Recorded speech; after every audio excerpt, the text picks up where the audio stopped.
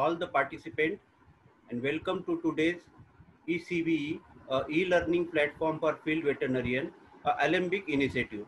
I would like to invite Mr. P. Karunanidhi, Senior Vice President, Sales and Marketing to introduce our student eminent speaker. Over to Mr. Karunanidhi. Okay, thank you, Santosh. Good evening to all the participants who are participating all over the country and my fellow colleagues, also Dr. Manda Srinivas. Actually, Alembic has started this uh, webinar activity very recently. We have done almost eight webinars so far. If you observe, the speakers are from different part of the country. We have done two speakers from uh, Tanuvas and three speakers from uh, Maharashtra. One speaker was from Haryana. One more speaker, Dr. Saxena sir, was from uh, Dayal Upadhyaya University, and one Dr. Tapan Mandal from uh, West Bengal uh, Animal University. So, in our endeavor to bring different perspective, this time we have uh, opted for Dr. Manda Senivas. Senivas. He is currently working as a professor in Department of Veterinary Gynecology and Obstetrics in NTR College, NT Ramarao College of Veterinary Science, Gannavaram, which is in AP. Dr. Manda Srinivas is actively engaged in teaching and research and extension activity for last 19 years. But his overall experience, this teaching activity for 19 years, but his overall experience in obstetrics is 27 years. That is including his previous tenure as a veterinary officer from 1993 to 2001. So after eight years service in animal husbandry department, because of his passion for teaching and research work, he has joined as a assistant professor in 2001 in Sri Venkateswara Veterinary University, Tirupati. So where Lord Balaji is situated. So after working as an assistant professor for 11 years, he got promoted as an associate professor in 2012 after three years in that post, he got promoted as a professor of veterinary gynecology and obstetrics in the year of 2015. His research experience, particularly in animal reproduction, assisted reproduction, estrus synchronization, obstetrics, and seminology, has gained a lot of importance and lot of help to the farmers in Andhra Pradesh and many of the veterinary students who have studied under him. Some of the project he has completed is hormonal intervention to improve the efficacy in buffaloes during postpartum period. And one more project which he has completed is the efficacy of herbal medicine in endometritis in buffaloes. So because he is a research guy, interest for teaching, he has conducted so many uh, published so many research papers, 74 research papers in national journals and 8 in international journals. And he also has guided 25 MVSc student and one PhD student. So Dr. Srinivas is a reviewer of several journals of national repute and acted as a jury for clinical case conferences organized by Tanuvas Chennai, which is organized every year and we were a big we were a uh, part of that program last year. He has conducted four refresher training program for veterinary officers and paravets of the animal husbandry department of andhra pradesh and also conducted several training program for the farmers organized by various organizations.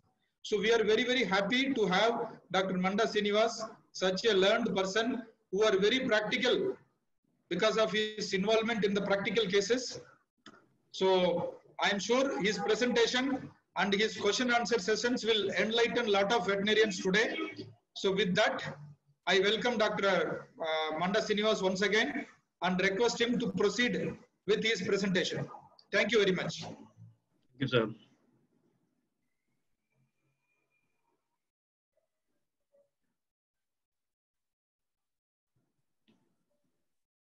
So good evening one and all to all the veterinarians who are joined into the webinar.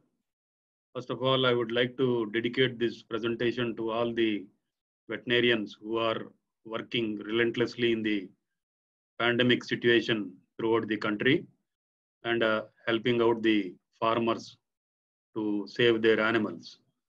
So today my topic is uh, on an update in bovine obstetrics. So this uh, obstetrics, uh, we all know that it is a branch of science which deals with the pathophysiology of pregnancy and parturition. So broadly today my lecture will be on uh, three broad heads that is uh, the problems during uh, the pregnancy or gestational accidents. That is number one. Number two is uh, dystocia. And number three are the postpartum conditions or postpartum complications.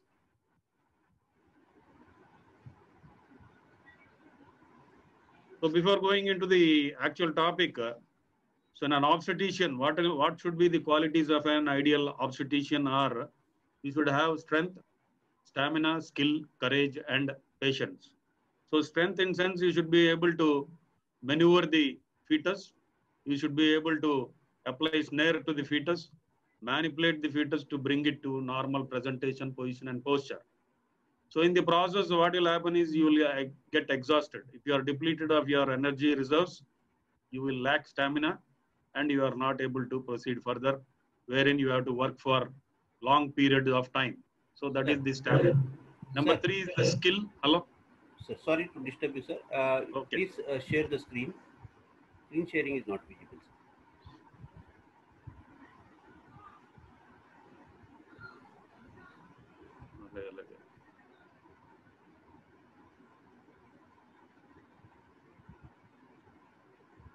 నేను బయటికి వెళ్ళిపోయినా ఏంటని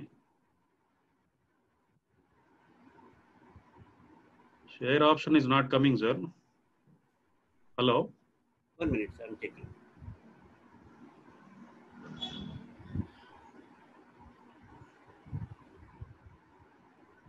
Now you try, sir.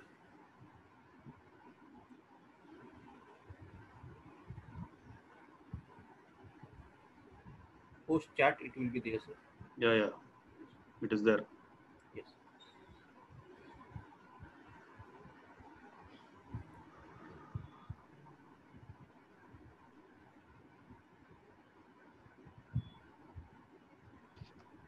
So the ideal qualities of an obstetrician are uh, strength, stamina, skill, courage. So strength, I told you, you should have the strength to manipulate the fetus, maneuver the fetus to bring it to normal presentation, position, posture. And in the process, you are supposed to work for long duration of time in order to correct it. So that is the stamina. If you are able to work for only short periods, you get exhausted, and then you are forced to abort the case or uh, leave the case in between and leave out. Third is the skill, how quickly or how effectively you are going to execute the procedure. And if you are not able to correct by one means, you have to switch over to the some other method which is possible to deliver the fetus.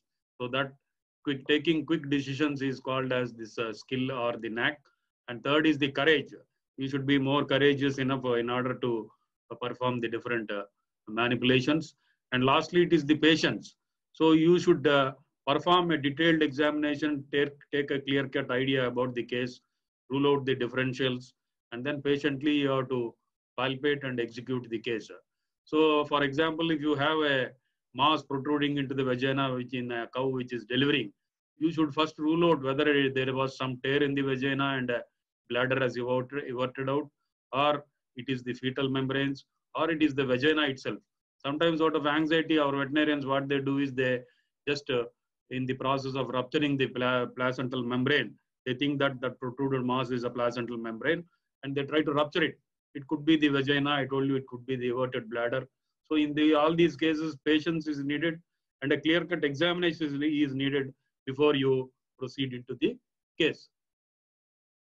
Now coming to the three broad, uh, I told you the conditions which we are going to deal today in the bovines are one is the gestational accidents, and number two is the dystocia proper, and number three is the postpartum complications. So in gestational accidents, we generally come across uh, the fetal mummification, maceration, hydroallantois, and of course the most common case, the cervico- cervicovaginal prolapse. So these are some of the cases what we routinely get uh, as the, the gestational accident. And of course, the infectious one is the abortion. We are not going to deal much because uh, a small fetus could be relieved very easily without much uh, manipulation. You lubricate and you can take it out or it comes out on its own. But uh, coming to these uh, conditions, we discuss one by one and uh, we will just discuss what are the different tips to be followed or what are the different uh, uh, decisions to be taken during their expulsion. So coming to the fetal mummification, this is also quite common in the crossbred, but uh, very occasional in the buffaloes. So wherever we have this uh, crossbreeding program and crossbred cattle, this is one of the condition.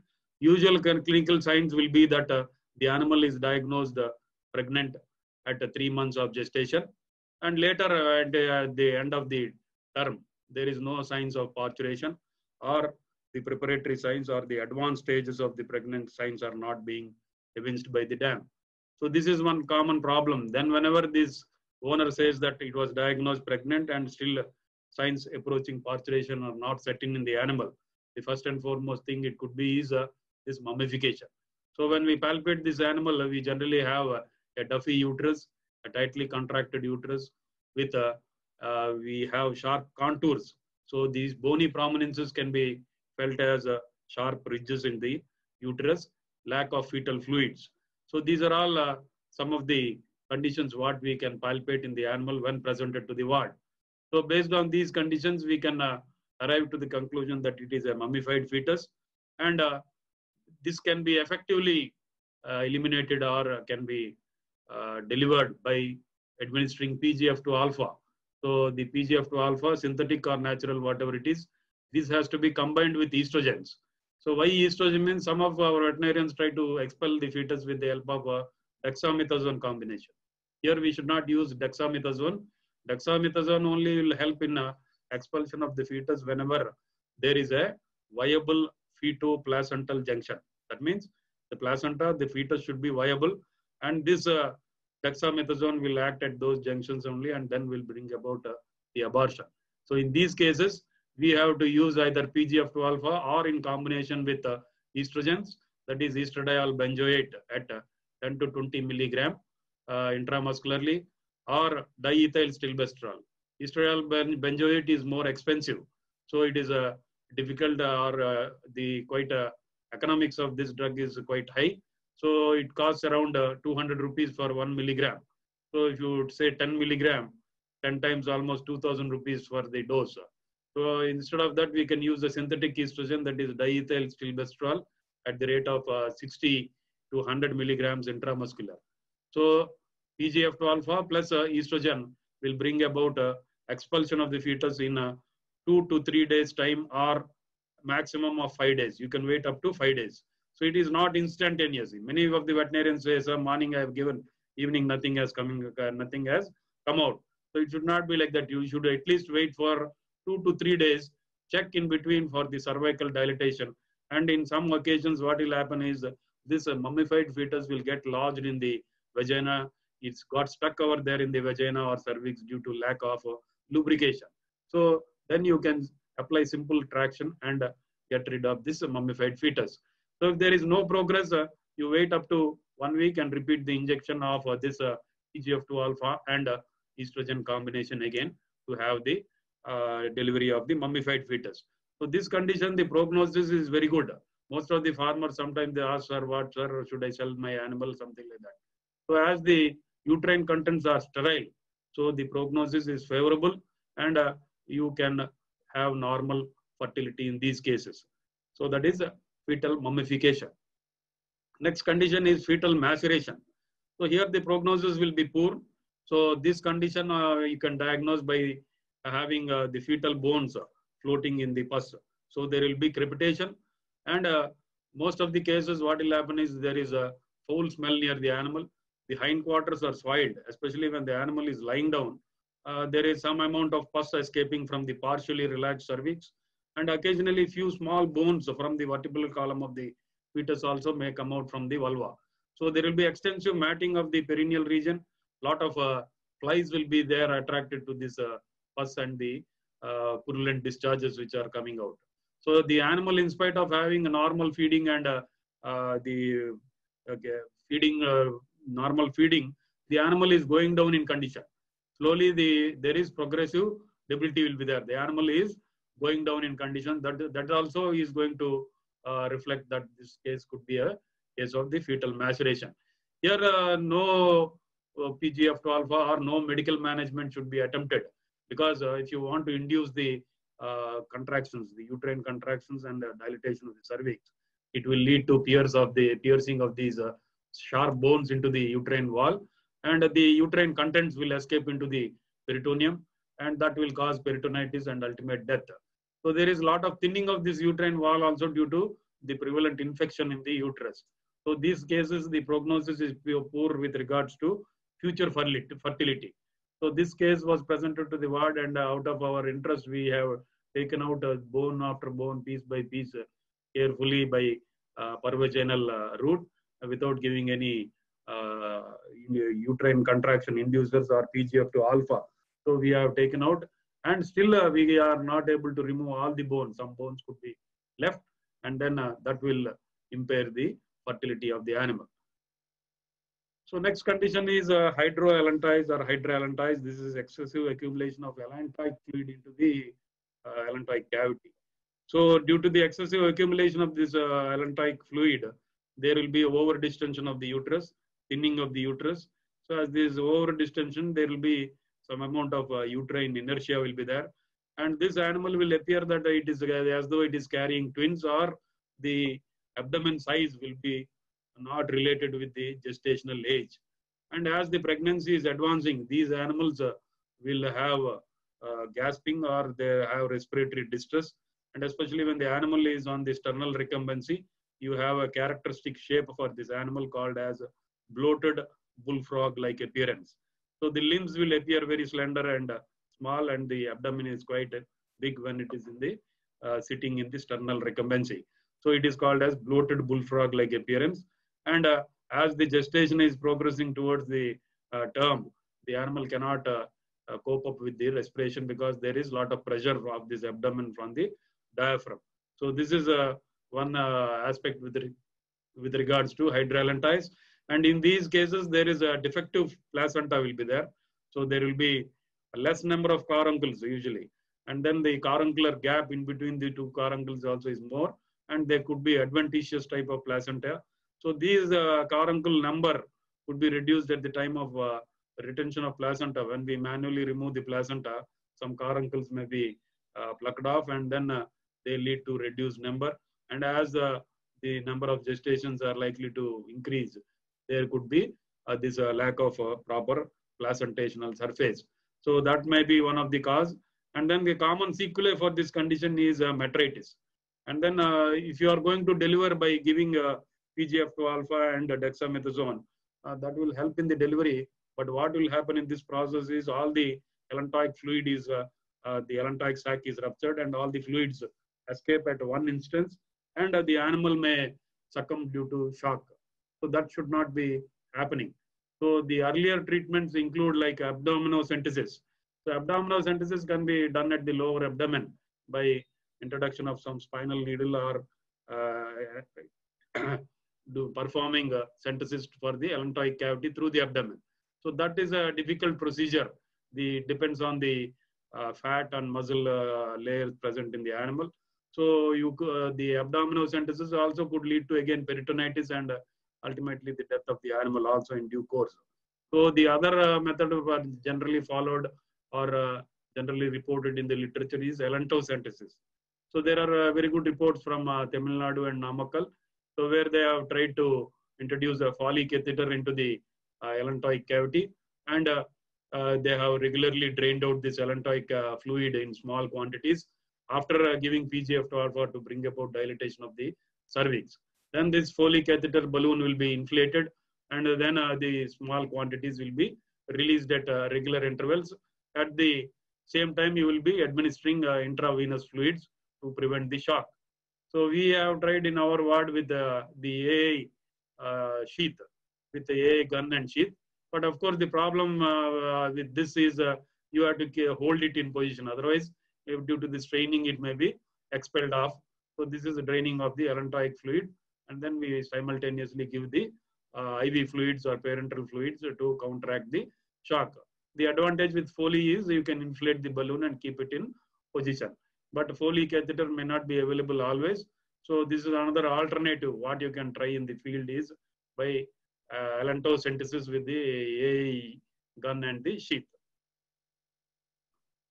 So of course, I told you this is a quite common problem, cervico-vaginal prolapse or vagino-cervical prolapse. So usually it is uh, graded into grade 1, 2, 3 and 4. So grade 1 is a small intermittent protrusion uh, is uh, noticed. So you will have a small protrusion out of the vulval lips. So this is only occurring when the animal is lying down. So if you make the animal to get up, when the animal is standing, automatically this will go inside. So this mass is a, a small mass which uh, is protruding out intermittently only when the animal is lying down. So at this stage itself, we have to indicate to the owner to go for treatment. If he doesn't uh, uh, go for treating this condition, it will uh, instantaneously lead into grade two over a period of time. So grade one eversion should be uh, advised for uh, the management and treatment immediately so that it is not going to get aggravated. So as it, it is not attended, it goes to grade two quickly. So this is protrusion is continuous with the possibility of involvement of the bladder. The size also is slightly increased than the grade one. And then probably the bladder also will uh, be protruded into this uh, structure or reverted organ. If let uh, if it is left untreated, it will quickly progress into grade three. So this also what will happen is uh, when the animal rises up, it will not go instantaneously, but uh, we may have to apply some moderate pressure for the uh, this protruded structure to get back to its normalcy. So grade three is the entire vaginal mucous membrane along with the cervix and uh, the external os of the cervix also along with the mucous plug is going to be uh, exhibited outside. So in this uh, necessarily you'll have the bladder to be entrapped. That's why its size will be uh, bigger than the grade two grade two version. So this is a you need to lubricate that partially everted uh, the, the everted organ and then uh, exert some more uh, moderate pressure for the uh, retention or what you call uh, repositioning of the collapsed mass. So next is grade 4. So this condition is of long duration so that the entire vaginal mucous membrane is going to be necrotic and fibrous. That means already there is inflammation, there is injury to the mucous membrane and uh, partial healing also has started. So that's why you'll have a diphtheritic membrane or necrotic uh, tissue along with some fibrosis. The infection is going to be quite extensive. So the quite extensive inf infection along with the involvement of the urinary bladder. And in some cases, there may be peritonitis due to which there will be violent straining will be there. So if left untreated, it may progress to the prolapse of the uh, rectum also. So along with the vagina, we'll have prolapse of the rectum. So this is grade four. Uh, this need to, to be treated uh, immediately by uh, intervention of the veterinarian. So here you have an example of uh, grade three prolapse of the uh, vagino-cervical prolapse. So this is the external os of the cervix uh, showing the mucous plug also. So there is some amount of inflammation, redness. And then if it is left outside for some uh, amount of time, this is grade four, where you have the uh, cervical rings or external os of the cervix. Then you have the necrotic and the fibrosed vagina, where it is more light and the diphtheritic membrane is also going to be prevailing. So these are more uh, what you call uh, long duration cases of the uh, stage four of the cervicovaginal uh, prolapse. So you can see a very big mass which is uh, left outside. Uh, there are a lot of tears on this, and this is still more cervicovaginal prolapse with rectal prolapse. So here the treatment involves first is we have to go for epidural anesthesia. So epidural anesthesia I'll be discussing a bit later on. So epidural anesthesia is a must. So for all obstetrical cases, uh, the epidural anesthesia, that is the posterior epidural anesthesia, or uh, you can say the low plane of epidural anesthesia is a must, because always a standing animal is a very good subject for the uh, obstetrics. If it is going to lie down, the space uh, restriction is going to be there in the abdomen, so we cannot manipulate or maneuver too much. So that's why the posterior. So that's why dosing is very important. So if you go for higher doses, it will go for anterior epidural or high plane of the epidural. The animal becomes recumbent. So you can keep the needle in position, go for the lower doses and if needed, you can give subsequent doses with the needle kept in position. So epidural anesthesia is one must and uh, uh, as we all know, the important uh, principle involved in the correction of the prolapse is a 3R principle. So 3Rs means uh, that is one is reduction in the size. So here we have seen that uh, there is very big uh, size of this. So that is one is involvement of the urinary bladder and number two because of edema of all these due to the passive venous congestion.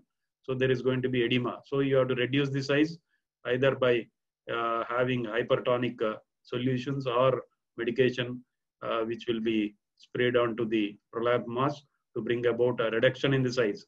Number two is repositioning. So it could be simple or you may have to struggle a lot by uh, depending on the size of the mass. And third is a retention. So retention because uh, the cervicovaginal prolapse in most of the conditions is a prepartum. That means the animal is still pregnant. So we cannot uh, go for the permanent sutures. So we either have to go for the buried suture like the Buhner suture or in the, most of the cases where it is mild to moderate, we generally try to man manage by or uh, retain these prolapse mass by application of rope truss uh, called as a Reynolds rope truss. So here in the uh, photograph in the left, uh, this uh, the veterinarian has thought that this is the urinary bladder which has been uh, prolapsed out of the vaginal wall through a tear. So this he presumed it to be a placenta and then he tried to rupture it. So ultimately there is a the rupture of the bladder and uh, they have uh, referred this case to the referral unit. So this is uh, another thing I told you the obstetrician should be patient enough uh, to find out whether there is a complete cervical dilatation, look for the complete dilatation and see what organs are, what structures are being presented into the birth canal and then he has to act accordingly. And these some of the cases from the field. So usually the parturations will be during the late hours in the night or early morning, where some uh, stray animal is parturating. It may be bitten by, a dog. So here you can see that there is a tear in the uh, vagina with a protrusion of the intestines. So the fetus is still in situ. So this is all the vagina and there is a tear on the dorsal aspect of the vagina with the intestines of the dam being exposed outside. And sometimes such intestines could be there in a schistosomus reflexus also. So that's what is the condition what we have to diagnose, whether it is the intestines of the dam. So the size also could uh, tell. In the fetus, the intestines will not have such big lumen of the intestine. So they will be more slender or more narrow. And then uh, we, upon our careful examination, we will be able to find out whether it is a schistosomus reflexus or not. So this is the Reynolds uh, uh, truss where we apply a rope truss to the uh, vagina. So this uh, about 10 meters of the cotton rope is taken and then uh, you bring it uh, from the neck all along the back and then it is tied uh, on either sides of the vulval lips and then beneath uh, from the inguinal region brought back onto the back and then it is tied. So simple uh, in the mild to moderate cases, you can apply this vaginal truss or the vulval truss. So this method is called as uh, Reynolds method, and there are the two, three methods, and some people uh, or some workers or some scientists or veterinarians or obstetricians prefer to have it only up to the posterior areas to save the length of the rope, not starting from the thoracic region, but uh, just uh, having the encircling the rope uh, cranial to the coxae and then having it only on the hip region. So this is the application of the Reynolds truss. So here you can see there will be knots on either side of the vulva, keeping this vulva in position with the help of the knots. So we sometimes may require a padding of these uh, ropes with the cotton so that uh, they give more comfort to the animal. And uh, we have to check these inguinal passage of the rope. Sometimes they may have the cutting effect. You should only use cotton rope, never use a coconut rope or nylon rope because they have more cutting uh, uh, or roughness and they cause abrasions in the skin. So a cotton rope has to be necessarily used. And if the straining is more uh, severe, we may have to go for application or administration of antibiotics and uh, non, uh, non-steroidal anti-inflammatory drugs. So because most of the times the uh, mucous membrane is uh, inflamed and eroded. And most of our veterinarians, they try to replenish uh, progesterone. Progesterone may not help much because this healing has to be brought about quite effectively. During the later stages of the pregnancy, the placenta is able to convert estrogen also into progesterone. There will be not much progesterone deficiency at that time. So it is better we give a stiff dose of uh, the broad spectrum antibiotics with anti-inflammatory drugs and antihistaminics so as to prevent this irritation and uh, the uh, nervous stimulation so that straining would be increased. So that could be minimized by the uh, antibiotic therapy after the repositioning or retentioning of the uh, placenta of the vaginocervical prolapse case or cervico-vaginal prolapse case. So coming to the dystocia aspect, uh, but dystocia we all know it is uh, primarily divided uh, or uh, broadly divided into two forms. That is, if the dam is involved in the dystocia, we call it as maternal dystocia. And if the fetus is the cause for the dystocia, we claim it to be fetal dystocia. So in the maternal dystocia, mostly we would be having a pelvic deformity, that is one, or incomplete dilatation of the cervix, or uh, it could be due to secondary uterine inertia, and certain cases could be primary uterine inertia. And of course, the major uh, group of the maternal dystocia presented to the referral hospitals is uterine torsion. So this is a very big or uh, common problem in the buffaloes uh, and uh, not very common in the case of the cows. So coming to each one of them, the pelvic deformity, when we look, look from behind, the pelvis uh, should be evenly placed or it should be symmetrical. So for example, you take the uh, observation of these tuber coxae. So one coxae you find on the right is elevated up and uh, this left one is depressed very down. So you can see that the pelvic uh, outlet also is deformed. So in these cases, uh, due to the stenosis of the birth canal, due to the stenosis of the pelvic canal or pelvic cavity. So this ileal shaft is depressed inwards and then it is blocking the birth passage and uh, these animals cannot deliver on their own. If you try to do any manipulative procedures also, it is futile. You have to necessarily go for elective surgery. So in these cases, wherever uh, we are performing AI, the primary thing is along with the detection of heat, stage of heat, we have to look for the symmetry of the pelvic cavity also. We have to caution the owner at the time of AI itself and then uh, see that uh, the uh, animal has to go for elective surgery at the end of the term. And if that owner is uh, willing for that procedures only, we may have to impregnate the animal. Otherwise, it is for left for the owner to take the decision. So there could be a pelvic fracture uh, with exostosis, or mostly these are all uh, accident injuries or trauma due to the vehicle uh, hit or some heavy motor vehicle. So usually the widest parts will be the hips and the animal will generally tilt its head and uh, the hip is exposed and then uh, a very strong uh, blow to the hip will result in the fracture of the hip bones and then lead to the pelvic deformity. So there is not going to be much manipulative procedure in this uh, condition. We straight away may have to go for elective cesarean surgery cesarean section at the time of uh, the delivery or in and around the parturition stage. So second condition could be as a sequelae to the uh, sec uh, secondary to uterine inertia or primary uterine inertia, complete cervical dilatation. So generally the cervical dilatation is in terms of uh, uh, degrees. So first degree uh, to fourth degree. So it is the explained in the reverse manner. So fourth degree is you will have only allowing to one or three fingers into the uh, cervical canal. So it permits only entry of uh, two to three fingers into the cervical canal is fourth degree.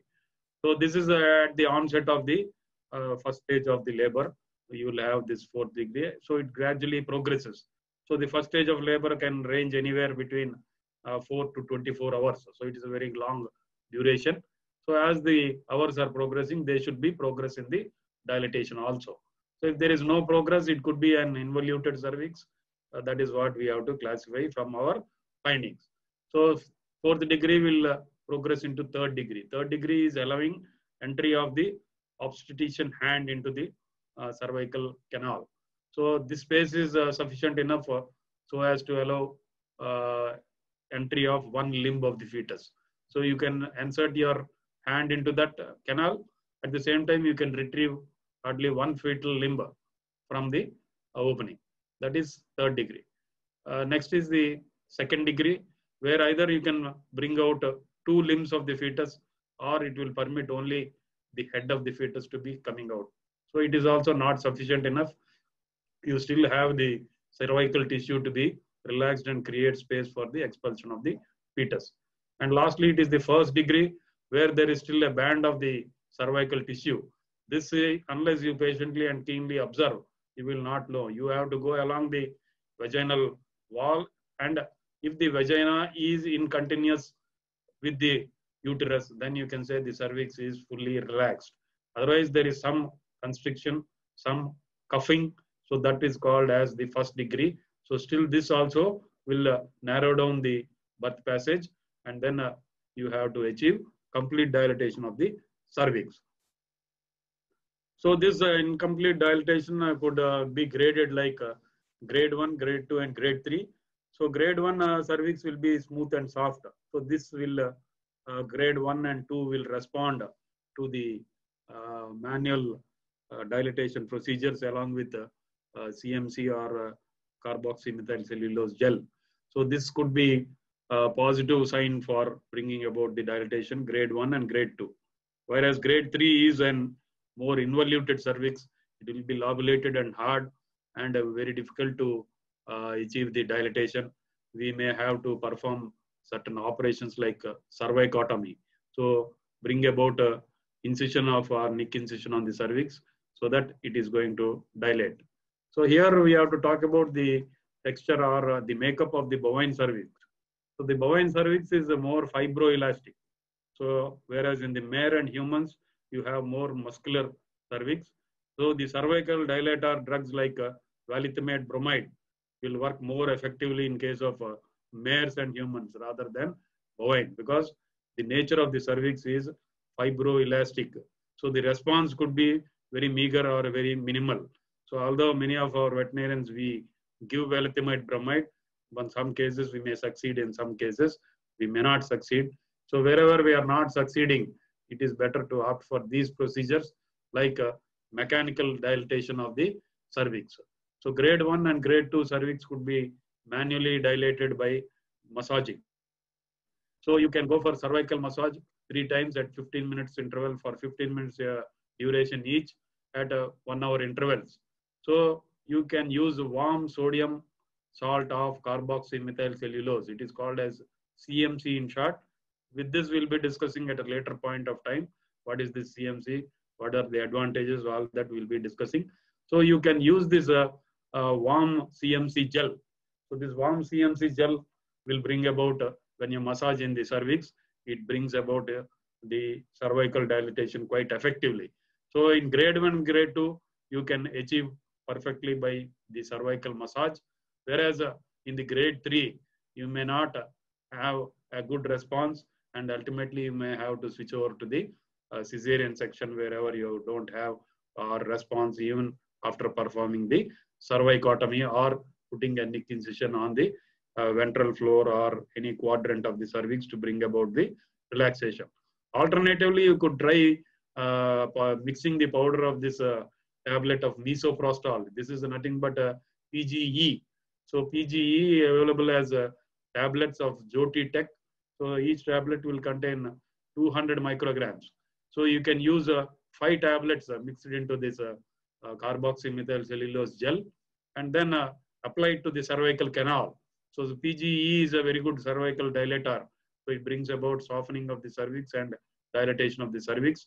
Coupled with oxytocin released from the Ferguson's reflex, you can achieve very good cervical dilatation. So these are some of the methods what we generally uh, adopt for uh, the cervical dilatation. In most of the cases, we get a cervical dilatation by warm uh, massage of this uh, sodium salt of carboxymethyl cellulose. So moving ahead into the, uh, the other condition of the maternal dystocia, I was telling you about this uterine torsion. This is one of the most common uh, maternal form of dystocia in the buffaloes and to some lesser extent in the case of the cows. So this is nothing but a, a rotation of the uterus on its long axis. Rotation of the uterus on the long axis. So here you can see that the uterus is being rotated. So it can rotate either to the left or to the right. Mostly it rotates to the right because left side it is occupied by rumen. So rumen is already filling the abdomen. So mostly it tends to rotate to the right as it is uh, more right horn pregnancies are more common than compared to the left arm. So there will be instability towards the right only. So right torsions are more common. So the other synonyms are uh, uterine volvulus, contortio uteri, and uterine volvulus. So these are other synonyms for this uterine torsion or it is also called as torsion of the uterus. So this case is very uh, tricky because whenever you go to the field, uh, the farmer complains that uh, the owner is off, uh, the, the animal is off feed and it is pregnant. So whenever you come across a pregnant animal which is off feed, having some uh, colicky pain with pellety dung, the first and foremost thing we have to do is uh, uh, check and rule out uterine torsion. So why I am telling this is because the uterine torsion diagnosed earliest presented, excuse me, presented earliest, the recovery will be uh, the better. If it is a protracted case, a delayed case, there will be ischemia to the uterus. The uterine blood supply is cut off. The uterine wall becomes fragile. There will be undergoing uh, adhesions with the surrounding structures. There could be uh, ischemia, weakness of the wall. And then when you try to go for the detorsion methods, they may fail or may lead to rupture of the uterus. So this case, uh, these cases, the animal is not fit for cesarean section also because the uterine wall, retaining capacity of the wall for sutures also becomes difficult and there could be gangrenous stage or necrotic stage of the uterus. So the entire uterus becomes very dark colored blue and it is not having the suture retaining capacity. And these animals, although how best you give post-operative care, they would succumb on the 10th or 12th day after the operation.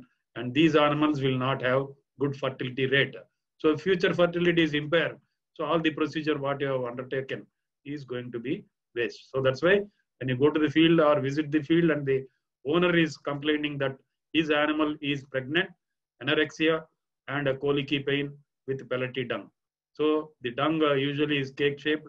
It will be very hard and pellety like a bullock dung in the case of a, a buffalo. So this is uh, the important uh, characteristic signs what you have to check for uterine torsion in the case of advanced pregnant buffalo or when you are visiting. So most of these cases presented to the ward are delayed and then uh, they are treating these cases for simple indigestion for three to four days or five days or one week duration. And then ultimately some expert will come and he will diagnose and then refer it by which stage the uh, future fertility and prognosis of the animal is at risk. So how to diagnose this case? So one is uh, by the history, the signs. The owner will tell his animal is pregnant. It is showing uh, pellety dung, colicky pain, frequent lying down, getting up. And then uh, there could be distortion of the vulval lips also, uh, pulled towards one side, uh, towards the side of the torsion. That is the external sign. And then uh, the dung is quite pellety and the animal is showing anorexia. Then uh, the most uh, important method of diagnosis is uh, the pervaginal examination. So you have to first complete pervaginal examination, then only go for rectal examination. So once you uh, place the hand in the rectum and then you come into the vagina, so the vagina or the birth canal will get soiled and uh, will get contaminated. So it is better to perform vaginal examination followed uh, by the rectal examination. So why vaginal examination means most of the cases, uh, almost 90% uh, of the cases will be post-cervical uterine torsion. That means only vagina is twisted. The vagina is involved. That means the region behind the cervix or posterior to the cervix is involved. So that's why 90% of the cases straight away you can diagnose by your per vaginal examination. So if there is a, the vagina is straight, it doesn't mean that the torsion is not there. It could be pre-cervical torsion or it could be a torsion which is involving the body of the uterus and some portion of the cervix. So in that case, the vaginal vault will be normal. There will not be any spiraling of the vagina. So that's why if the vagina is clear cut there is no deviation in the vagina, it is straight, then you take a rectal examination and look for the placement of the broad ligaments. So we all know that broad ligaments are there suspending the uterus.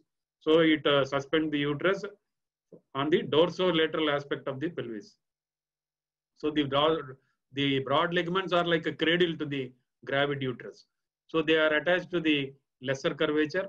So that's why the broad uh, or uh, the greater curvature is free. And uh, this uh, arrangement or anatomical arrangement of the broad ligaments makes uh, bovines more prone for uterine torsion compared to mares. So in mares, the greater curvature is attached to the broad ligaments. So that's why the uterus is more stable. You generally don't uh, come across uh, uterine torsion in the case of mares. So that is uh, the anatomical attachment of the broad ligaments. So what will happen to the broad ligaments is the broad ligaments will be crossed. So here you can see the placement of the broad ligaments. So on the top is a normal animal. So this is the lesser curvature. That means the ventral aspect of the reproductive tract is placed dorsolaterally. On either side, so left and right broad ligaments will be there and uh, they are suspending this genital tract. So whenever you have left-sided bra uh, torsion, the broad ligament uh, is uh, pulled over the genital system and the right broad ligament is pulled underneath the genital tract. So you can see classical crossing over of the broad ligament to their respective sides. So left side uh, torsion is there. Sorry, this is the right side. So if the right side torsion is there, the left broad ligament is crossing over to the uh, right and the right broad ligament is pulled beneath the reproductive tract in the case of right-sided torsion. So in the cases of uh, the left-sided torsion, the right broad ligament is crossing over the reproductive tract and the left broad ligament is uh, pulled beneath the reproductive tract. So if there is pre-cervical torsion, these broad ligament crossing over will be there. It doesn't mean that this broad ligament crossing over will not be there in the post-cervical torsion. But instead of going for this uh, crossing over, straight away you can tell the degree and side of the torsion by placing your hand in the vagina. So that is uh, post-cervical torsion. So you take a vaginal examination, first look for the post-cervical torsion. If it is not prevailing, there could be a pre-cervical torsion. So take an examination from the perirectal route and then uh, define the broad ligament crossing over and automatically you can define the side. So in the right side, the left broad ligament will cross to the right and the right broad ligament is pulled beneath the reproductive tract. Whereas in the left-sided torsion or anti-clockwise direction torsion, torsion, the right broad ligament is pulled to the left and the left broad ligament is uh, stretched beneath the reproductive tract. So here you can clearly see the diagrammatic representation. So in the clockwise direction or this is uh, the left-sided torsion. So the legends are the uh, depicted in a reverse manner. This is a right-sided torsion. So this is a clockwise, no, sorry, this is a left-sided torsion. So the legends are only uh, correct. Uh, so the left-sided torsion, the broad ligament crossing over is there. right is pulled to the left, whereas the left is beneath the uh, the reproductive tract. So this is a left-sided torsion or uh, the counter-clockwise direction torsion, whereas this is the right torsion. Uh, the left broad ligament is pulled to the right, and the right broad ligament is beneath the uh, reproductive tract. So in the post-cervical uterine torsion, uh, I told you we generally don't go for the checking of the uh, broad ligaments. So the orientation of the palm in the vaginal vault. So when you are taking an examination in the vaginal vault, so when you go for the palpation, uh, you can, the hand will move in accordance with the uh, direction of the uh, vaginal folds.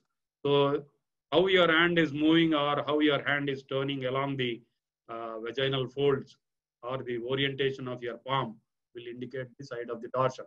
So you can see in this uh, left-sided torsion, the thumb will move from top to the left to the uh, beneath. So it is moving this side. So the thumb uh, which is there on the top will move towards the left and towards the bottom of the vaginal wall in the direction of the folds. So that is indicating it is a left-sided torsion. Whereas in the right-sided torsion, the thumb is there on the top, moves towards the right, or right side of the pelvic cavity and then comes to the lower quadrant of the pelvic cavity. So this is the right-sided torsion. So the orientation of the palm as you are moving forward into the vaginal wall or into the vaginal folds is going to help in the diagnosis of the torsion. So the diagnosing the side of the torsion is very critical in uh, the treatment because we have to cast the animal on the side of the torsion.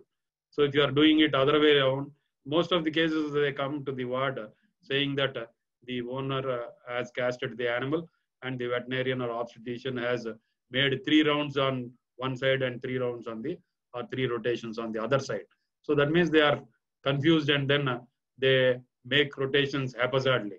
So instead of uh, uh, giving result, uh, sometimes it may aggravate the condition and it may put, put the animal to stress. So that's why diagnosing the side is critical.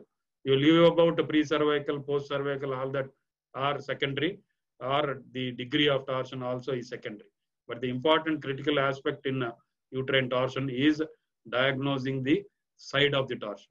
You have to necessarily accurately diagnose the side of the torsion, whether it is left-sided or post-sided or right-sided. So the tightness of the folds will indicate about the uh, the severity of the torsion or the degree of the torsion. So in my, in the 90 degree to 180 degree, you can have access to the fetus, but the there will be stenosis to the uh, birth canal. That is what you have to rule out or differentiate from uh, the incomplete dilatation of the cervix. So most of the veterinarians think that still the uh, animal is progressing in the uh, parturition. So they will think that it is cervix is not completely dilated, and then they keen, they are not keen enough to observe the folds or direction of the uh, torsion. So if there is a mild to moderate, then you may have simple uh, stenosis of the birth canal. By application of rotations, you can simply relieve the torsion and bring about effective delivery of the fetus. So the treatment involves rotation of the dam with a wooden plank. It is called as modified Schaffer's method. So you have to cast the animal on the same side of the torsion. So what you are finding in these photographs is uh, the animal casted on to the right.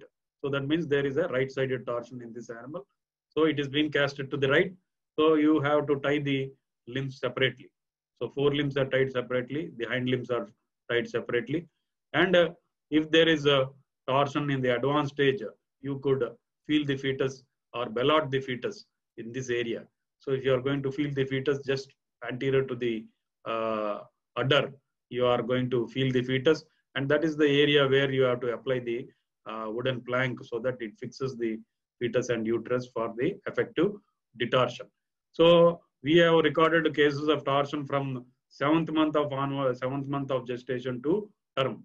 Usually torsion will occur at uh, at parturition or during the first stage of parturition. At the time of cervical dilatation, the fetus is going to orient itself into normal presentation position and posture. At that time, due to vigorous movements of the fetus, there could be uh, entrapment of one of the extremities of the fetus and the uterus could tilt uh, to the or rotate to one side uh, coupled with other factors like uh, the animal uh, lying down getting up jerky movements of the dam uh, walking in uneven floor so all these could predispose or weak broad ligaments so these are some of the things and other could be the more roomy or capacious abdomen so more big abdomen you can notice in the buffaloes. The buffaloes abdomen is quite big compared to that of the cows. So that's why the incidence is quite less in the case of cows compared to the buffaloes. So in the Schafer's method, so it involves uh, at least four persons on the plank and three three persons for each of the uh, limbs and uh, one person on the head. On the whole, you should have at least uh, 10 to 12 persons are required for one uh, animal to be rotated.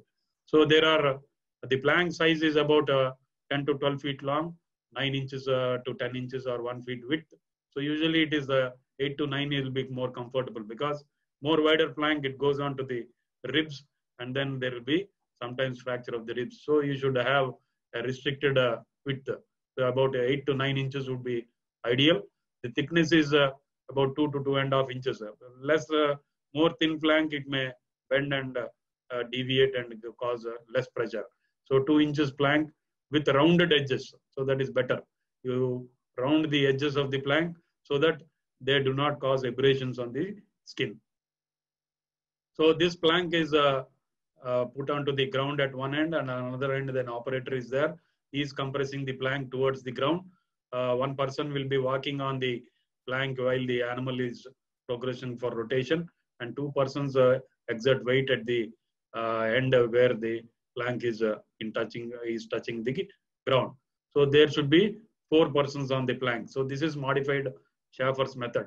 So in normal Schafer's method, uh, one person is uh, less. Here there will be only one person. So that uh, Schafer's method is more useful for cows because they have a less, uh, I told you the abdomen size is less. In smaller animals, you can go for uh, Schafer's method, whereas in large uh, Murrah buffaloes, which are of uh, uh, good quality Murrah buffaloes, you have a very deep and capacious abdomen where you may have to have the modified Schafer's method with the two people standing at the end which is touching the ground. So this is uh, what is there. So this here, uh, the principle is uh, this plank will be exerting pressure on this uh, fetus. It fixes the fetus. So as this is uh, moved to the other side, this is kept uh, stationary and only the body wall is going to rotate and this principle will bring about detorsion. So this is that uh, you can see the operator pressing the plank towards the ground, uh, walking as we are rotating this animal. So we have to move along with the uh, abdomen. So exerting constant pressure. So move the animal or rotate the animal from uh, the right side to the other side uh, gently. So you have to gently rotate the animal uh, from the right to, so lift the limbs and push it to the or rotate it to the other side. So this is uh, the exerting the pressure. So once there is a relief, you can see that uh, fetal fluids or fetal membranes will gush out of the uh, dilated uh, cervix. Because I told you most of the cases, this will happen at the first stage of labor. So already the fetus is ready to be expelled out because of lack of patency in the birth canal. There is twisting and stenosis. So these fetal membranes and fetus are not able to be propelled out. So that's why once you have uh, for every detorsion or every rotation, you have to check whether it is progressing or getting worsened. So if it is getting tightened means your side of diagnosis is not correct. So you have wrongly diagnosed this side. So it is getting twisted more firmer and might become more tightened. So then you may have to adopt a uh, different side. You take the other side. So it is not that you do four rotations on one side and another four on another side. So with every rotation, you have to check whether it is progressing or simply it is getting worsened. So accordingly, you have to uh, change the direction. So if you're not having the wooden plank, uh, it would not be there the, when you're going for the field. You might have attended at the farmer's doorstep. So other aids could be that long uh, bench or uh, the dining table what is available or it could be a bamboo ladder or the logs tied together to make it like a raft with the uh, rope so that these could be also applied if they're a small animal you can use these long benches also otherwise you can have the bamboo sticks or depending the area of availability or casuarina logs or these bamboo ladders. So these are also helpful for create exerting pressure on the wall. And if you find them to have a rough surface, you can apply a gunny bag onto the abdominal wall of the dam so that you could don't result in abrasions to the abdominal wall. So some of our uh, students who have passed out, they have tried with these casuarina logs. And if mild to moderate, they could uh, also succeed. So I told you the early attempt in the relieving of the uh, uterine torsion will bring about uh, early resolution. So if it is a delayed case, there will be changes in the uterus, especially the ischemic changes. There will be death of the fetus. The fetus may be uh, dead and uh, there will be toxin release will be there. There could be uh, bloat, distension of the abdomen. So if there is a bloat, again, uh, fixation with the plank would be difficult. And uh, this fixation of the plank would uh, add more pressure onto the uterus. And if there is ischemia or weakening of the uterus, the animal will result in rupture of the uterus and ultimate death of the uh, animal. So these are all some of the points to be elaborated to the owner take his consent, and then only we have to proceed with the detorsion methods. So otherwise, uh, if there is a delayed case and he will, and then uh, he will uh, pester us to continue the detorsions or proceed with it. So this is one area where we have to counsel the owner. So a delayed case is always not a good subject for this uh, detortion, especially beyond 36 to 48 hours after the onset of the uh, the labor or onset of the dystocia. So in these cases, you will have there will be uh, the shrunken vulva, tucked up uh, udder, and the sacroiliac ligaments will be tightened back. They tell about the duration of the torsion. So although the owner doesn't speak sometime, you can look at the signs. You will tell, tell the signs have set in, sir, but uh, again the signs have been lost. So that could be a delayed case wherein we have to tell the prognosis of the cesarean section also, and then take his consent and go for the treatment. And the literature says that uh, there have been few other techniques for uh, detortion. Uh, is one is the elevation of the hind limbs. So this uh, method has been tried in Japan. So wherever uh, there is some possibility to elevate the uh, hind limbs of the animal by about one meter. So the animal hind limb should be elevated. The forelimb should be just touching the ground. So it should not be completely made hanging onto the air. So the forelimbs should be touching the ground and the hind limbs are elevated. And in the time of, uh, again, placing back the normalcy to the normalcy or to the ground again, the operator should uh, keep the hand in the uh, vagina and hold the fetus at the time of uh, bringing back the dam to the normal position. So this has been published in uh, the journal in Japan. So they have done uh, 41 cows with torsion of different degrees and sides they could achieve in 35 animals by just raising the animal and placing it back to the ground. They could achieve detortion. So of course, this we haven't tried, but what they claim is the procedure is simple, less manpower is needed. So in the earlier method, I told you we at least need 10 to 12 FT or good built persons for rotation of the dam. So here you can see that they hardly one or two people working with it, and then they have found out that this procedure could correct by 85%. So 85% of the animals could be corrected by elevation of the hind limbs. So this can be done if you don't have the, the, the what you call the proclaim or tractor like this. Uh, we can use a chain pulley also. Chain pulley tied to the elevated surface like the girder of the shed or some branch of a tree. So that is what we are uh, trying to plan and then trying to execute this method also, try and compare with the routine Schaffer's or modified Schaffer's method. Coming to the fetal dystocia. So the maternal forms are uh, hardly those three more uh, frequent conditions. So this is a fetal dystocia, which is uh, uh, mostly you will have the with related to fetal dystocia is the fetus is involved in the uh, cause of the dystocia. So you could have mal-disposition. So there is a defective presentation, position, or posture. It is called as a mal-disposition. There could be an oversized fetus certain times, and on other times there could be a fetal monster. So fetal monsters are also uh, nowadays uh, being uh, uh frequently encountered in the ward because of uh, the pollution or uh, different pollutants. So there could be some ter teratological effects. They could be there. And of course, this fetal oversize also we are recently encountering uh, the higher side because now the farmers have become more fancy to have a semen from the sire which is uh, well built and uh, of very huge size. So such type of semen is given to a heifer uh, which is to be carved for the first time. So it may end up, end up with dystocia for the fetal oversize. There could be excessive muscling of the fetus and it will lead to shoulder lock or hip lock and then uh, uh, take a lot of time in delivering such fetuses and uh, it may affect the obturator nerve paralysis or the pelvic girdle of the dam also.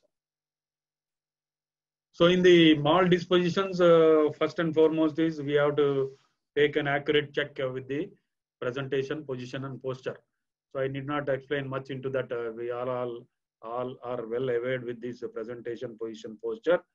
So in the anterior presentation, there will be three extremities. I just want to tell, uh, narrate in a nutshell. There will be three extremities. So two forelimbs and one head and neck will be there. So necessarily all the three should be brought into the birth canal. So most of our fellow veterinarians out of enthusiasm, they will try to catch hold of two limbs and uh, try to exert pressure or traction or force and then try to deliver the fetus. So initially, when the head is uh, within the reach, it is very easy to correct it. Once the limbs are protruded beyond the uh, knees out, out of the vulva, there will be deviation in the head and the fetus gets jammed in the pelvic inlet and it becomes very difficult to correct such malposture also. So it is ideal at the early stage itself, you have to necessarily maintain the alienation of all the three extremities in the anterior position. That means in the normal uh, presentation, you have the anterior longitudinal presentation. Whereas if you consider the posture, the uh, chin of the fetus will be resting on the metacarpal bones. So this posture should be maintained until the parts are brought near the vulva. So that means when the fetlocks are there, you should necessarily see or visualize the muzzle. That means when the fetlocks are outside, the muzzle also should be evident. So that is indicating that the normal parturition process is underway. Otherwise, some amount of uh, limbs are outside and you don't find the head coming out. Immediately, the veterinarian attention is needed. You cannot simply apply traction. It will lead to deviation of the head and ultimately it becomes a complicated posture and you are not able to relieve it out without proper maneuver and lubrication. So that is with anterior presentation, you should necessarily have three extremities presented into the birth canal. That is both the forelimbs.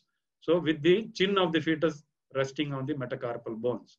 That means as the fetlock joints are out, you should clearly evident or evince the muzzle portion of the fetus. So especially in the posterior presentation, two hind limbs should be presented out and you should find uh, if it is normal position, you should find the soles facing the sky. So this is dorso-sacral position. So posterior longitudinal presentation with the dorso-sacral position will result in extension of two hind limbs, soles facing the sky. So the only difference between these two is here you have three extremities to manipulate and control. Here you have only two extremities. That is only the two limbs to be managed and brought out. So posterior uh, longitudinal presentation, the delivery has to be hastened out because the head is very deep in the birth canal. So once the umbilicus is going to get severed or separated, you have the fetus to start respiring and then it uh, drinks or uh, all the fetal fluids are asphyxiated into the uh, respiratory tract and uh, the engulfed into the respiratory tract, which are more slimy and mucus. So these thick uh, uterine fluids or fetal fluids will block the passage airways and then result in asphyxiation and death. So that's why the delivery process has to be hastened. You cannot wait until the normal process to occur. So simply you have to bring out the fetus with the external uh, traction force and then uh, resuscitate the calf as early as possible, especially in the posterior presentation. So coming to the obstetrical lubricant, most of the dystocia cases, especially the fetal causes, will be delayed and presented very late to us.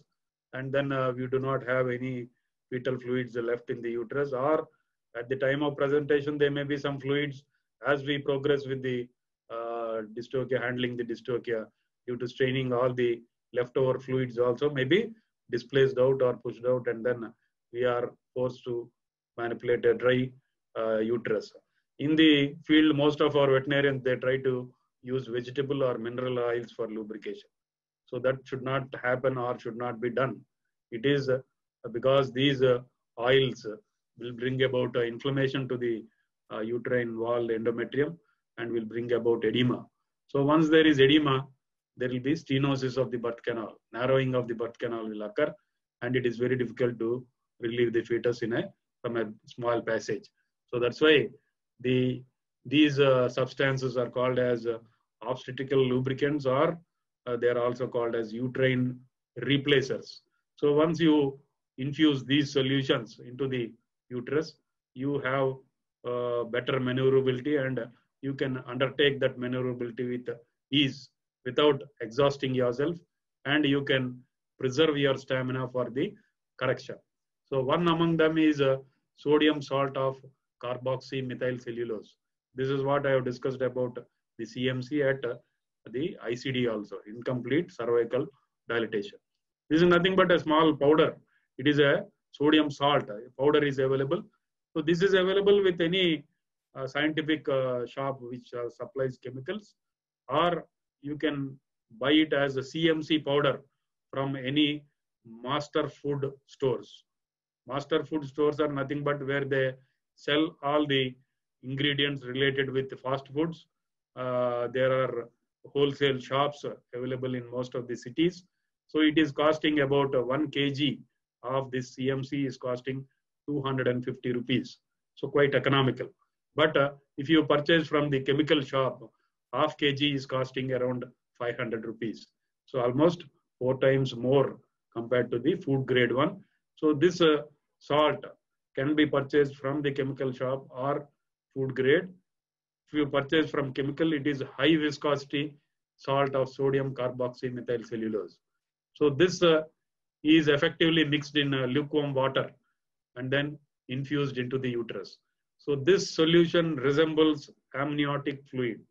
This solution of 2%, that means 20 grams in one liter will resemble amniotic fluid in its, in its consistency and functions also. So this uh, is very critical. So this is very much needed for the uh, cases of fetal dystocia or a delayed case of fetal dystocia. If you are able to have this uh, CMC solution and infuse it into the uterus, mostly all the 99% of the cases you can relieve by having lubrication into the uterus. So alternative to this is you can uh, use a no tears Johnson baby shampoo also solution, but this is quite expensive. You can carry it in your kit or you can carry this powder in your kit. Have asked for hot water. Just uh, you can sprinkle this powder on a flattened tray. So you can sprinkle 20 grams of uh, this uh, powder onto layers of lukewarm water on 200 ml. And again, over this, you sprinkle some more water. Slowly, these uh, uh, particles absorb and swell and become gelatinous like, and they are going to yield the solution, which is uh, similar to that of the amniotic fluid. So you can make three to four liters of this solution. So on an, on an average, you need three to four liters of this solution to be infused into the uterus so as to allow the fetus to freely float in the uterus. So earlier the uterus was contracted over the fetus. Lubrication was dry. Your hand is not able to pass all around the fetus very freely. So once you can infuse, so what you are seeing over here is the foot pump. So this foot pump is available with uh, orchard farmers or farmers having mango gardens or different uh, fruit bearing trees. So you can dip this uh, end at the bucket of this six, five to six liters of this uh, CMC solution. So other end, normally a sprayer is there. You can get remove that sprayer. So what you are seeing here here. So this tubing could be introduced into the uterus and infused by four to six depressants. The entire six liters of the fluid can be very effectively pumped into the uterus. This is what we have uh, out of our uh, practical observation and uh, utility we have uh, tried over the years at uh, Tirupati and Gannavaram. So this foot pump was very effective. Alternatively, if you don't have the foot pump, you can use the cycle tube, cycle tire inside the cycle tire. There is a tube. The old rubber tube is quite big in diameter. So you can cut the valve end and make it like a tube, long tube, and by gravity you can infuse but it takes some time with the tube also. Alternatively is if you don't have foot pump, you can fold one uh, or uh, make a cycle tube with you for your obstetrical kit so that at least for three to five liter. So it is not standard for each of the case. It depends on the case, the size of the uterus, size of the fetus. So it needs about uh, uh, three to five liters of the uh, CMC solution to pump it in so that uh, you can manipulate. So this repulsion, then uh, extension of the extremities, then uh, application of snares, correction of the mal posture becomes very easy after infusing the uh, obstetrical lubricant or uterine replacer. So this is what we generally do in the ward. So we take the CMC solution and then infuse it. And certain times we are left with the solution. You can add uh, one or two crystals of uh, potassium permanganate to the solution, and uh, you can uh, deep freeze it in the freezer, thaw it, and uh, reuse it also. So that helps in storage of the leftover gel or leftover lubricant. So as as far as possible, we generally prepare it freshly, and uh, as the case arises, we prepare it and then we try to infuse it fr uh, freshly only. So mal disposition, as I was telling you, the can see only the limbs are being presented. So if it is anterior, dorsosacral position, you find the soles are facing the ground like this. So if it is posterior presentation, other way around, soles will be facing the sky or facing uh, the dorsally. So if the head is not there, you try to apply traction, definitely it gets deviated. And most of the uh, paravets are some lay uh, veterinarians who are just trained, mostly handle like that. They find both uh, limbs and try to apply snares and uh, try to pull the fetus.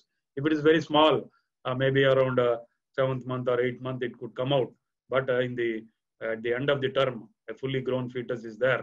It normally ends up with a dystocia because you are not correcting the head. It can die, deviate to any of the sides. So uh, again, uh, while applying snares to the limb, the caution should be that uh, you should check whether all the or both the limbs presented are forelimbs. So one could be a hind limb and the other, other could be a forelimb. So if you don't check it and confirm it that both are forelimbs and you apply a traction or snares, that could result in a transverse presentation or a vertical presentation, which is going to become difficult to correct at a later stage. Uh, you will find out after uh, you will come to or or you will ascertain it at a later stage by which time uh, the fetus might have got jammed into the pelvic cavity. So that's why you have to necessarily ascertain whether both are forelimbs both are hind limbs before applying a traction and applying snares to the uh, limbs so other uh, important thing is uh, you could carry these blunt hooks so these blunt hooks are very critical so sometimes the head is beyond the reach or you have a live fetus. And most of our veterinarians try to apply a snare to the lower jaw. So lower jaw you apply, it is only helpful in aligning the uh, uh, head into the birth canal. But it cannot uh, hold the pressure or cannot withstand the pressure for traction. So if you apply traction on the lower jaw, applied snare, definitely the jaw is going to break. The teeth are going to pluck, be plucked off and you deliver a live calf without the lower jaw, it is going to impair the apprehension of that calf and survivability of the calf is questionable. So instead of doing good, you are doing damage to the calf. So that's why if you have a live calf, it is better to use these blunt eye hooks to the inner canthus of the eye, or it is better to apply the snare along the all around the encircling the head and the knot coming into the mouth. So that is called as like a bridle of the war. So the knot will be or loop will be in the mouth and the uh, loop is all around the uh, side of the face, behind the ears, back of the forehead and coming into the mouth. So that can withstand more pressure and you can apply traction on the head by having a snare like that. Or the alternative is you can sometimes you cannot uh, uh, pinpointly define whether it is a live or dead fetus. So that's why it is better to avoid sharp hooks.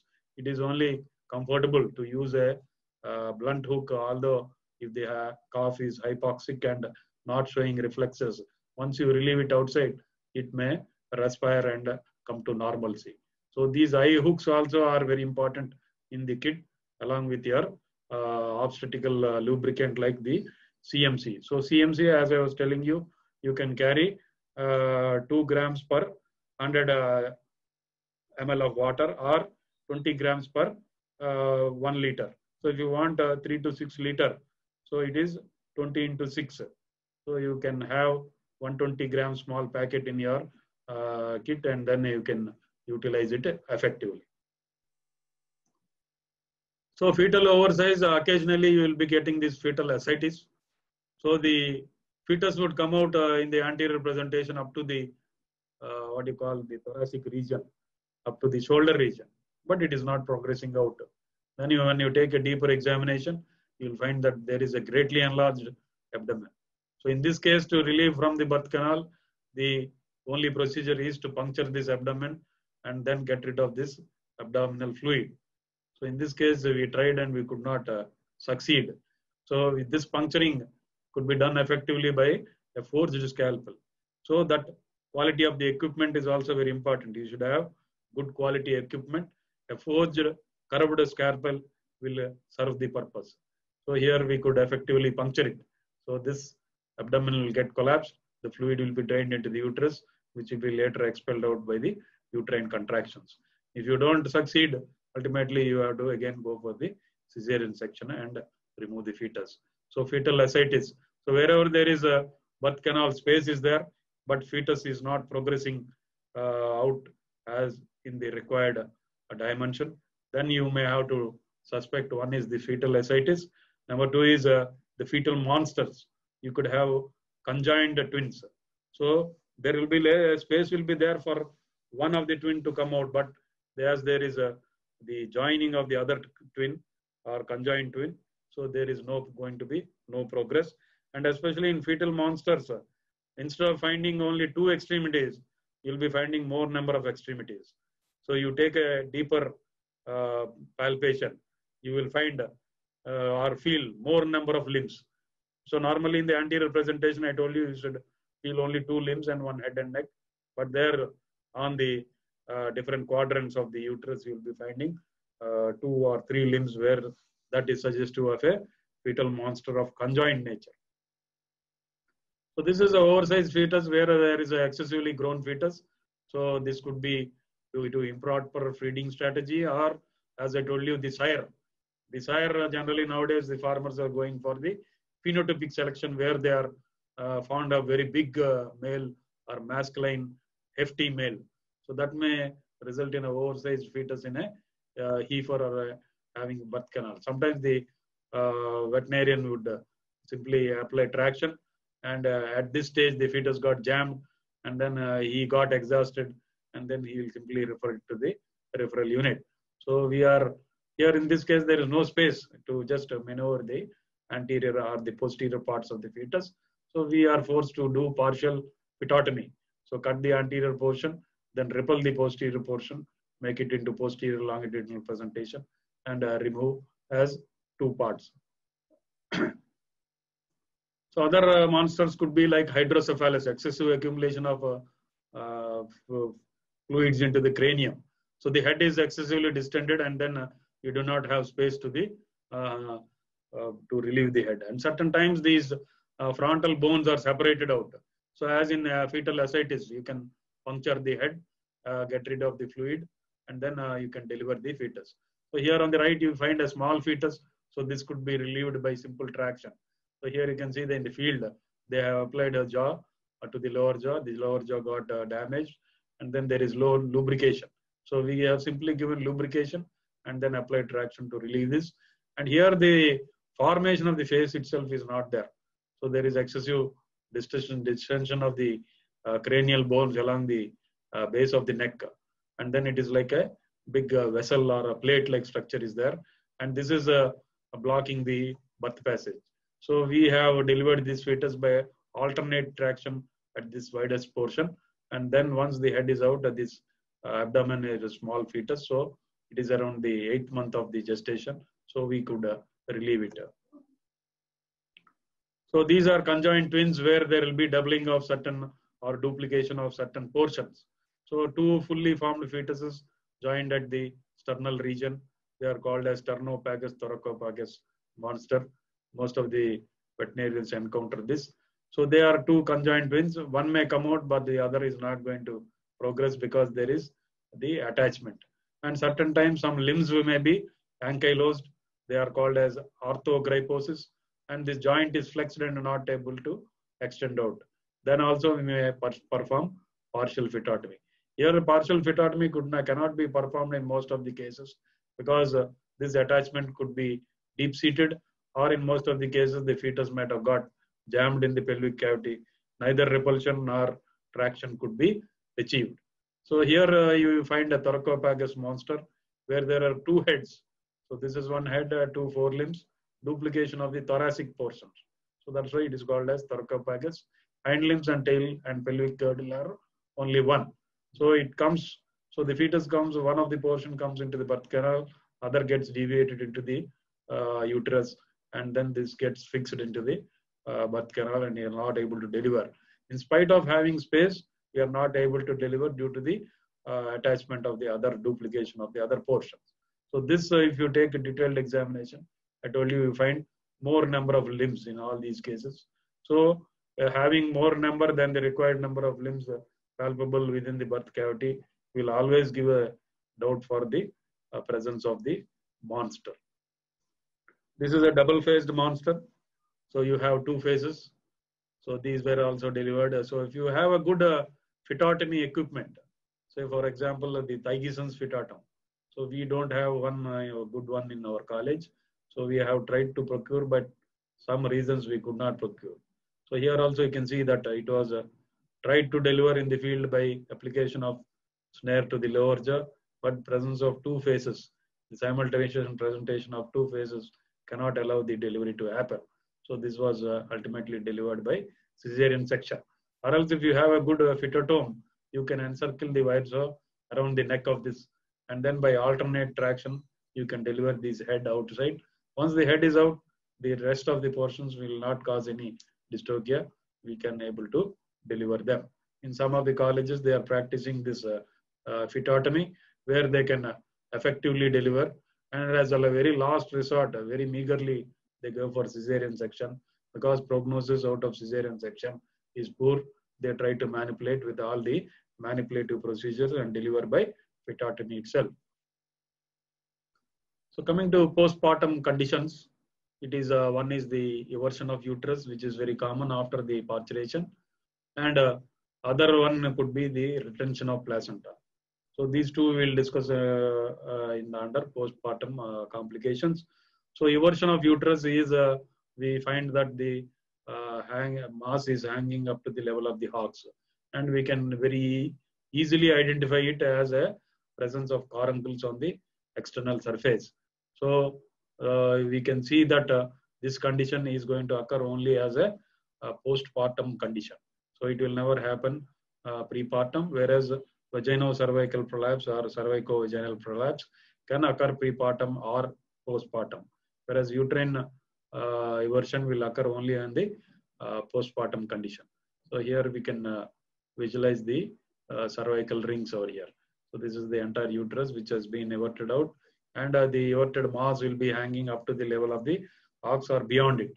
So this is a, a prolapse of uh, reversion of uterus in the case of a cow. So it is more necrosed and then uh, more inflamed, usually due to the injury or rubbing against the ground or some inanimate objects. So usually the eversion uh, will involve the bladder. So it leads to uh, kinking of the urethra or doubling of the urethra. You can see here, here the urethra gets folded upon itself and then uh, whereas the ureters are patent the bladder keeps on accumulating. Uh, it becomes uh, distended and gets involved itself in the everted mass. So the primary uh, aim should be to reduce this edema or the size of this collapsed mass which includes this bladder. So this uh, case whenever there is a call for this uh, eversion of the uterus we have to necessarily uh, tell the owner to keep the mass raised up to the level of the ischial arch or up to the level of the vulva. So it should not be allowed to drop down like this. If there is a, this droppage, the pressure will be exerted on the uh, vulval lips, uh, will compress the mass, as well as this ischial arch also will exert pressure and cause passive venous congestion. There is outflow from this organ, blood is restricted, so there will be accumulation of this uh, edema into the organ along with the bladder. So that's why what we have to indicate to the owner is keep it moistened so that it is not getting injured, wrapped in a cold pack and raised up to the level of the ischial arch so that much damage is not going to occur to the organ before you attend. So that is what we have to indicate to the owner to keep it raised up to the level of the vulva and keep it moistened and wrapped in a cold pack so that edema is not going to occur. So when you go to that uh, case to attend the case, your job becomes very easy. So as I was telling you, the obstetrical case, uh, any obstetrical case, wherever this training is encountered, it is best to have the epidural anesthesia. The epidural anesthesia, that too, a low plane of epidural anesthesia is a must. Otherwise, you get exhausted. So you exert pressure, the animal is exerting or pushing your hand double the force. So you try to counter that in a short span of time, you get exhausted, the stamina is lost. To prevent that, to keep the animal raised, not to feel the pain, uh, to avoid straining and uh, uh, help in the uterine contractions and nullify the abdominal contractions. Epidural anesthesia is a must. So first intercoccygeal space, that is the last sacral vertebrae and first coccygeal, that is the first intercoccygeal space, that is the sacrococcygeal space, or in between the first coccygeal vertebrae and second coccygeal vertebrae, uh, you give it is the first intercoccygeal space. So these two are the sites for the epidural anesthesia. So normal animal, uh, the ideal solution is uh, uh, you can give lignocaine 2%. 2% of the lignocaine is uh, the ideal one. So it is given at the dose range of 0.2 to uh, 0.5 ml uh, milligram per kg body weight. So the average dose is about 6 ml. 6 ml will induce a low plane of anesthesia and the duration is about one and a half hour. So this would be sufficient for our normal uh, cases of obstetrics. But wherever you have gone for a eversion of uterus, uh, maybe some more longer duration of about three four to four hours may be needed, in which time the uterus may involute and uh, reduce in size and prevent staining and pushing of the organ, although retention has been applied. So in that cases, you may use a, a bupivacaine or xylazine. So bupivacaine hydrochloride 0.5% on uh, the average uh, dose rate is about uh, 4 ml. So you can have an anesthetic effect up to 4 hours. So xylazine is generally not used in the pregnant animals where it can cross the uh, fetoplacental junction or barrier and then induce respiratory depression not only in the dam but also in the fetus and there could be hypersalivation also for xylazine. So you can use a, a xylazine lidocaine combination also at a, uh, 1 is to 4. So usually 1 ml of xylazine is mixed with uh, 4 or 6 ml of uh, lignocaine and given. So but uh, the I told you if the fetus is there in the uterus, we should not use xylazine.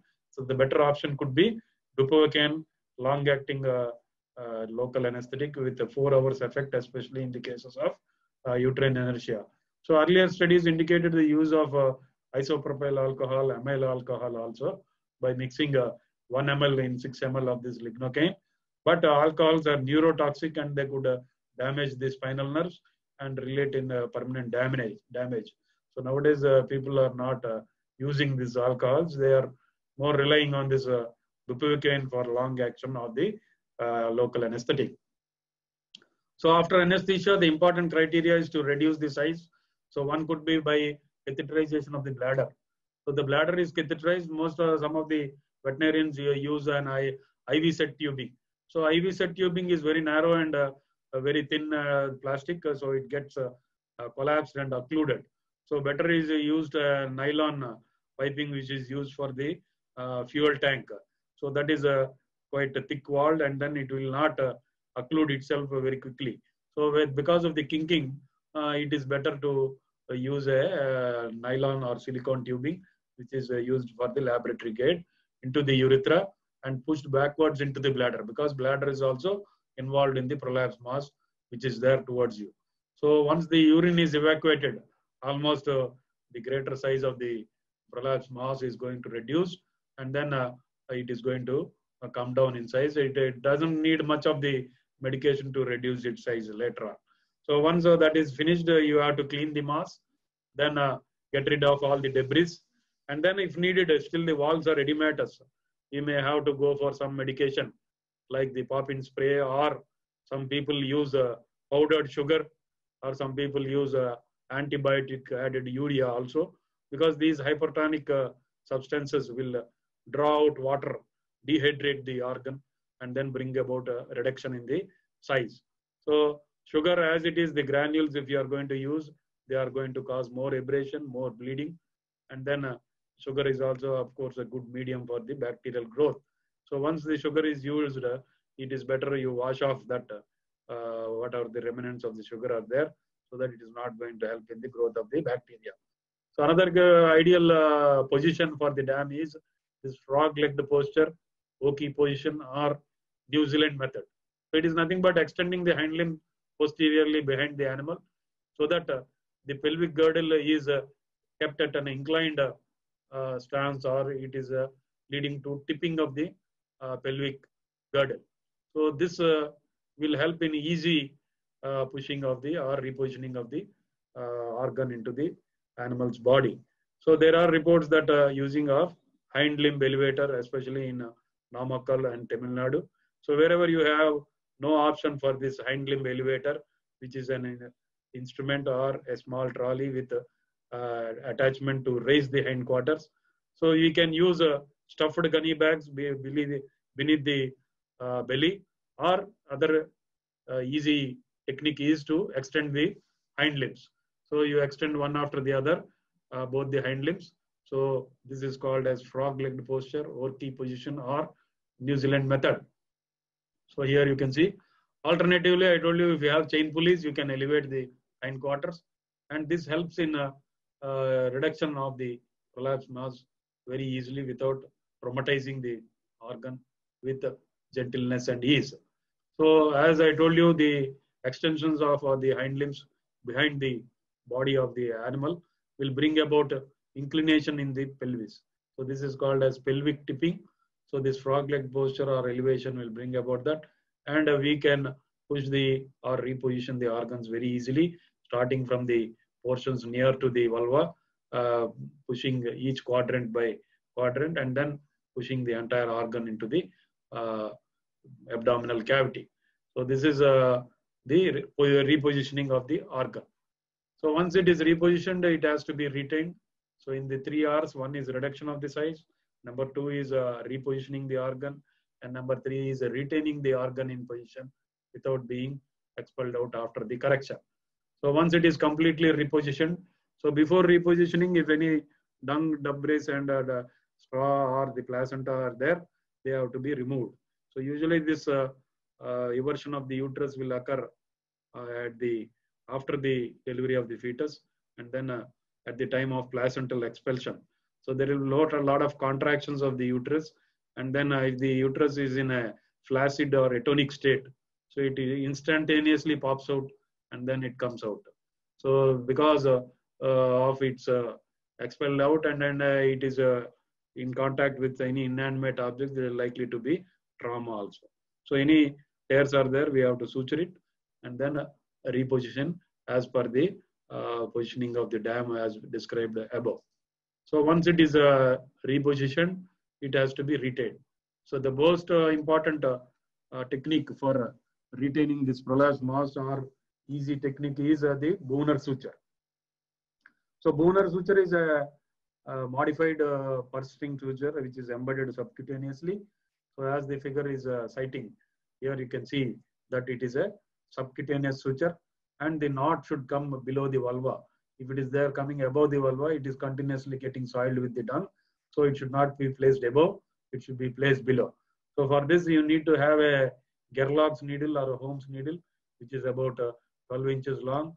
So you have the eye at the tip of the needle. So you make two nick incisions, one centimeter above the uh, dorsal and ventral commissures, and then pass the needle uh, from uh, the ventral incision to the dorsal incision subcutaneously, laterally to the vulval lips, underneath the skin, and then you thread the umbilical tape. The tape is nothing but a cotton tape which we use for uh, uh, for what you call uh, stitching the curtains or the petticoats. What you use the tape, a multi-filamented tape. That same tape can be soaked in a, uh, podionidine, and then uh, you have the uh, tape to be encircling all the vulva. And before tightening the or making a slip knot, you have to insert three to four fingers into the vulva and see that the gap is uh, left. Otherwise, uh, it becomes uh, difficult for expulsion of the urine. At the time of micturition, some urine gets retained and that is going to sometimes cause problem or sometimes complete retention also is going to cause uh, the retention of the urine. So you uh, leave space for three to four fingers and uh, tighten the loops and make a knot at the ventral surface of the vulva. So this is uh, going to be quite effective and it is not going to uh, cause any uh, disfiguration to the vulva. The normal conformation of the vulva is retained and this you can apply in the prepartum stage or post postpartum stage, whatever stage it is, you can apply. So if you want to give some intrauterine medication also, opening is left. Uh, and if you are applying for a prepartum stage, uh, at the time of parturition, you have to uh, release or remove the uh, suture. Otherwise, it will uh, narrow down the uh, vulval opening. And uh, if it is not informed to the veterinarian, uh, it may lead to complications. So this is the uh, Buhner suture, which is quite effective, embedded subcutaneous suture for uh, maintaining the vulval conformation and uh, retaining the prolapse mass. So that is the Buhner suture, which is kept in situ. So other uh, suturing techniques they include a bootlace technique or frank technique. So where you make uh, small rings on either side of the vulva and you alternatively crisscross this uh, like the bootlace, the suture material, single stranded or double stranded is passed alternatively through the rings which are kept lateral to the or placed lateral to the uh, vulval lips by the suture material in the form of a ring. So these rings are threaded and the suture material is tightened to make a bootlace technique or frank technique. So these are all techniques to be applied only under epidural anesthesia. So another is vaginal stents. You can use a rubber tubing. These are nothing but horizontal mattress suture where you uh, apply horizontal mattress suture and straining is there. This suture will lead to the cutting and then uh, breakage of the vulval lips. To prevent that cutting uh, effect and uh, maintaining the configuration of the vulval lips of the horizontal mattress suture, we can use a rubber tubing as a stent or buttons. So, or a coat button or the pant buttons you can use to prevent the cutting effect and the suture uh, retaining capacity is there and the vulval conformation is not lost. So some of our friends try to have the horizontal mattress suture. So horizontal mattress suture without the stent should not be applied because whenever there is straining, the suture material penetrates deeper and deeper into the tissues. Ultimately, its suture breaks and the vulval conformation or there is going to be disconform uh, disconformation in the vulval lips or they're going to get disfigured. So vulva, you are, we all know it is the uh, important organ to prevent ascending infection.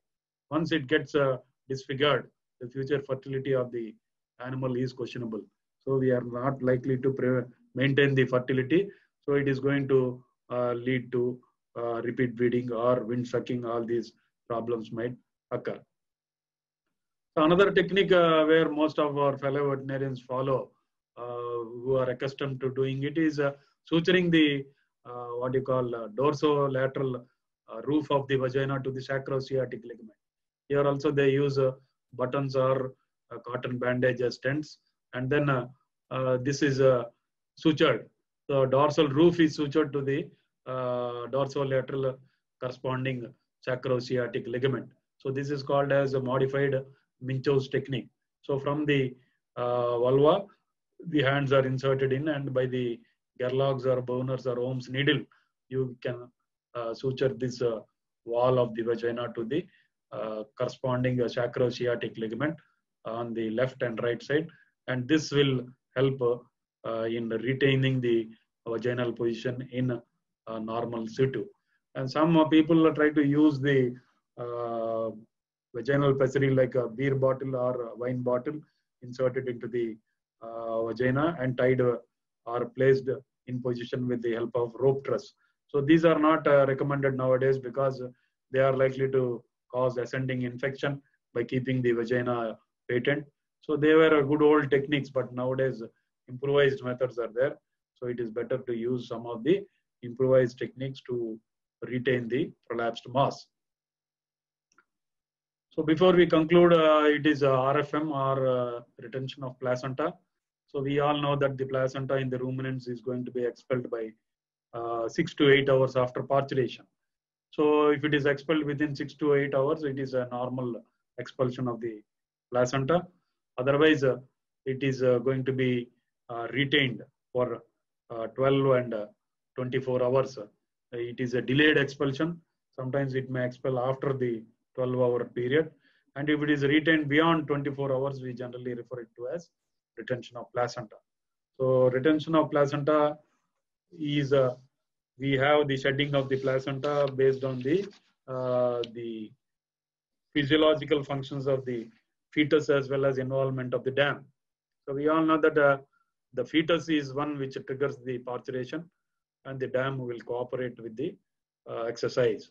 So similarly with the case of uh, this placenta also, we all know that it is cotyledonary placenta in case of bovines. So in the small or large ruminants, retention of placenta is quite common because they have firm attachments at specified areas. That is the cotyledons of the fetal placenta will join with the caruncles of the endometrium.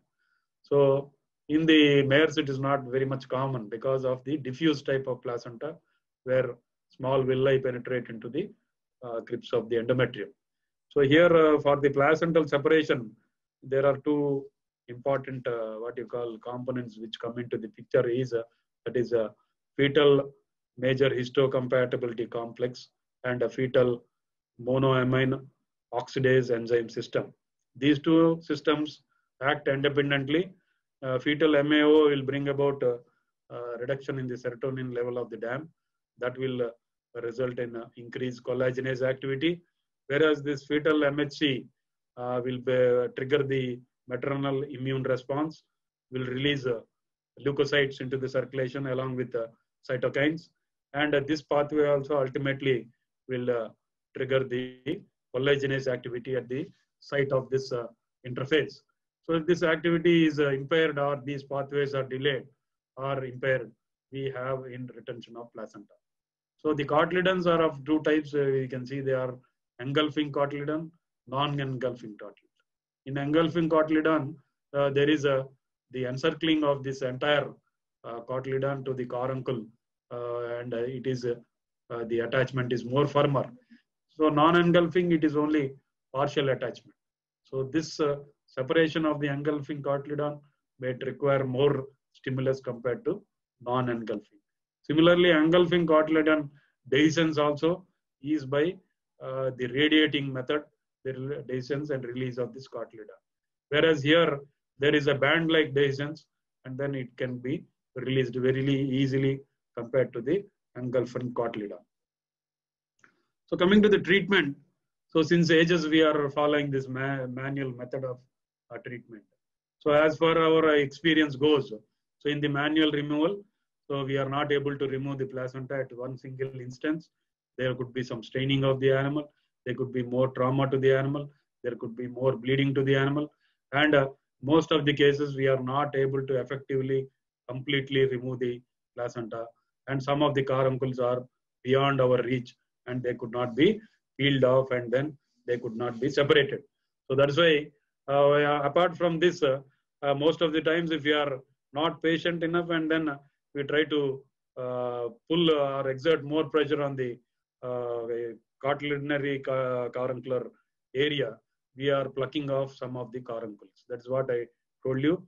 Most of the veterinarians or many of us, if we don't do it patiently, we are likely to pluck away some of the caruncles.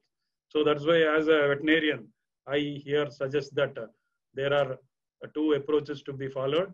That is what we have to educate to the owner.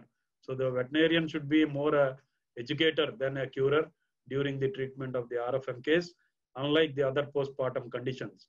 So here, there will not be separation at the uh, 24 hour period time. So there has to be this, uh, what I have told you, the pathways to come into the picture and the collagenase activity to be released at the site of the uh, caruncular cotyledonary interface. And then it takes some time. But most of the farmers, they do come to us at the 24 hour time and they say that this placenta is hanging out and it is causing a lot of malodorous stink and then it has to be removed. So as per our experience, you remove it also, we are not alleviating the condition. We are not get ridding or get ridding, uh, get, we are not getting rid of the condition. So we are likely to cause trauma. We are likely to cause bacterial proliferation. We are likely to break the endometrium. We are likely to plug the caruncles. We are likely to uh, induce metritis through our handling procedure. So after four or five day period, every alternate day, we have to visit that case, get rid of the post postpartum puerperal metritis or septic metritis, what has occurred due to the consequence of the retention of placenta. So that is why manual removal also is questionable. So that's why we should be more a curer, uh, more educator than a curer for this condition. Why means so the treatment involves either manual removal or no drug approach. So many of the books nowadays suggest that no drug approach is more better or more improvised because we are not damaging the endometrial lining to the animal. So what we are doing in the manual approach, I told you, uh, it is the goal to uh, manually remove the placenta by force. So we are forcefully removing the placenta. So it could be completely removed only in 62% of the cases, partially removed in 27% of the cases, and uh, it is not at all possible in 11% of the cases. So they suggest, uh, the studies suggest like that. So it is believed to be practiced for aesthetic reasons. Why we are doing it means most of the veterinarians will tell that the owner, owner has insisted for it because he wants to get rid of the malodorous stink from the animal. And many of the owners don't milk the animal uh, without the shedding of the placenta. So oxytocin is one which is going to help again in the shedding of the shedding of the placenta. So manual removal instead of doing good is doing more harm in terms of I told you sucking off of the caruncles, retaining some amount, causing metritis. So the aggressive manipulation of the placenta will result in endotoxin production. So there will be a lot of endotoxins produced in the uterus. So they are absorbed into the circulation. Ultimately will result in elevated blood temperature, uh, the, the body temperature, the harmful effects of the animal on future fertility also. So the reports are there that which suggest uh, that this manual removal has uh, delayed the involution and delayed the onset of first postpartum heat and are not only involved in additional medical expenses of the drugs and uh, the cost for the veterinarian. So these are all, uh, instead of doing good, uh, I told you we are added advantage, added discomfort to the animal and in terms of economics also, it is not quite economical to the owner. Hence, incomplete removal of the fetal membranes is a rough and insanitary manner is not advisable. So in the no drug, no drug, no drug approach, uh, what we are doing is uh, they observe the cow or the buffalo until, until 72 to 96 hours. So uh, research has studied, uh, suggested that uh, complete separation will occur only after the 72 hours within 92 hours. So if the cow is clinically normal without any fever and anorexia, it is taking normal feed and uh, water and uh, then not showing any deviation in the clinical parameters. We generally adopt no drug therapy or no manual removal. We don't touch the placenta at all. So if the cow will develop anorexia, uh, the symptoms of septicemia are there. The placenta is left in position or not handled. Along with that, what we give is antibiotics, parenteral uh, fluid therapy. Uh, we give NSAIDs and uh, non-inflammatory anti, anti, non-steroidal anti-inflammatory drugs and oxytocin.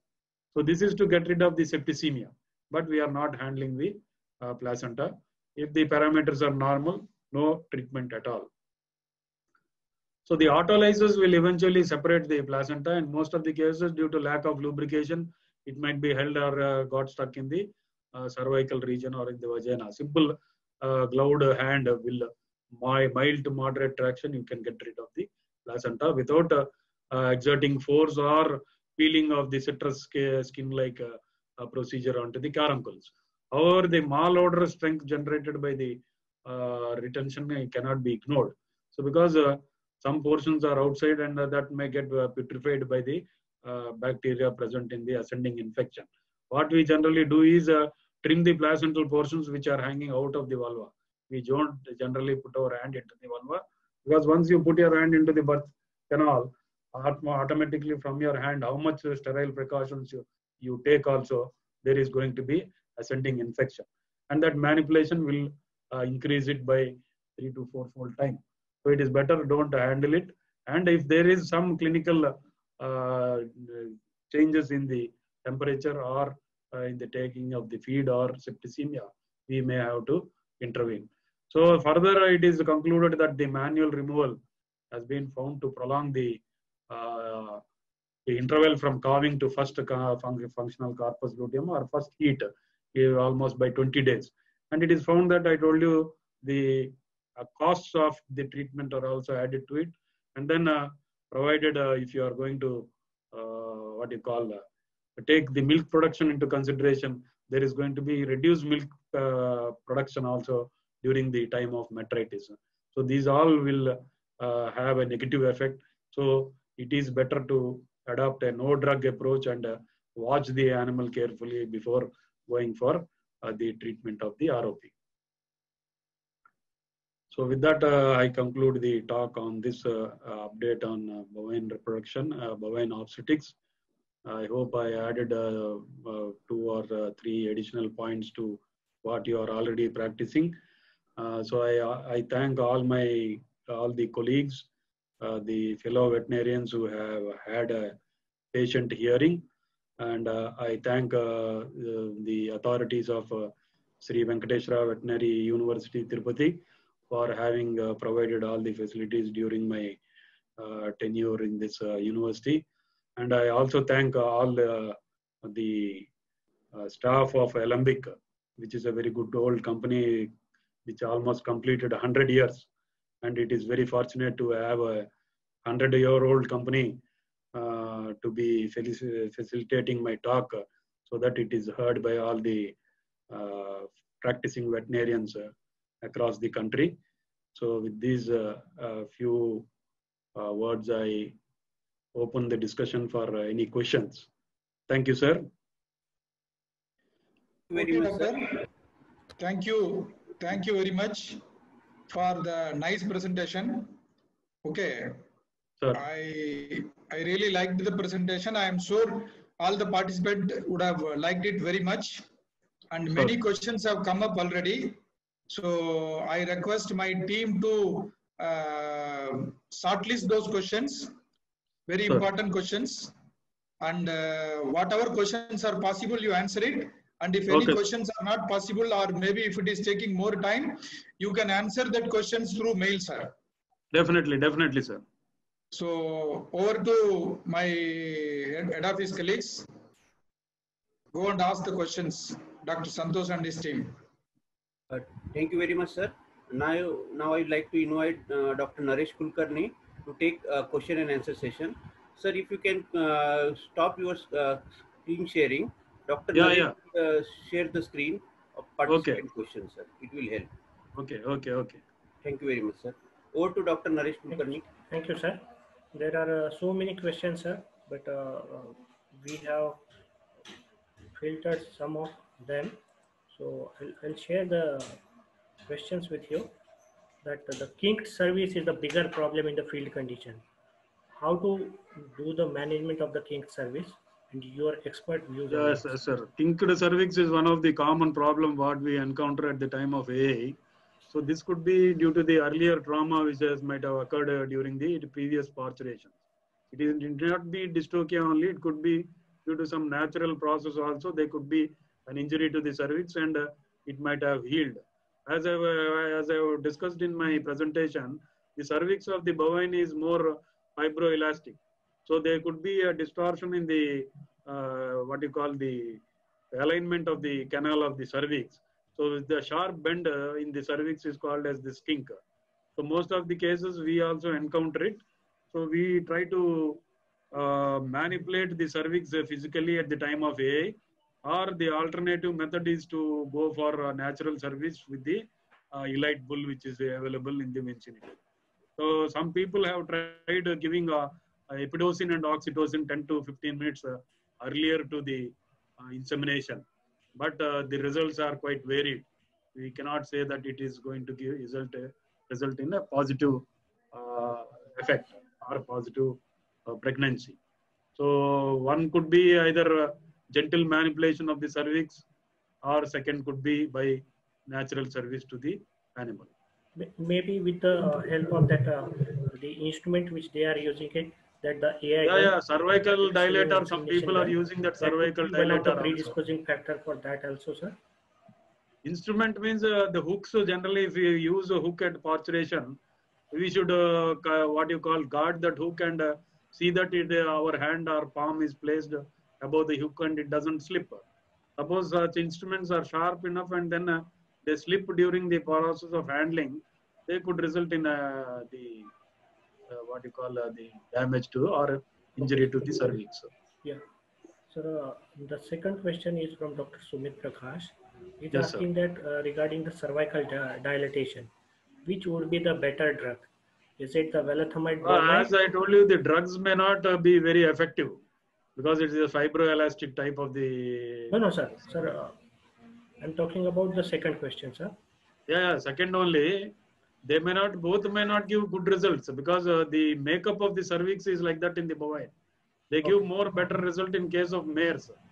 So that's why I told you if they are not giving any result, it is better to switch over to the manual massage and the massage of the cervix with uh, CMC.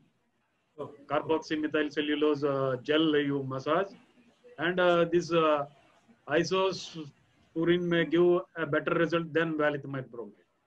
oh, okay, okay. I hope you know, and Dr. Sumit might have got the answer for the question. The next next question is from Dr. Uh, Karunanidhi PS.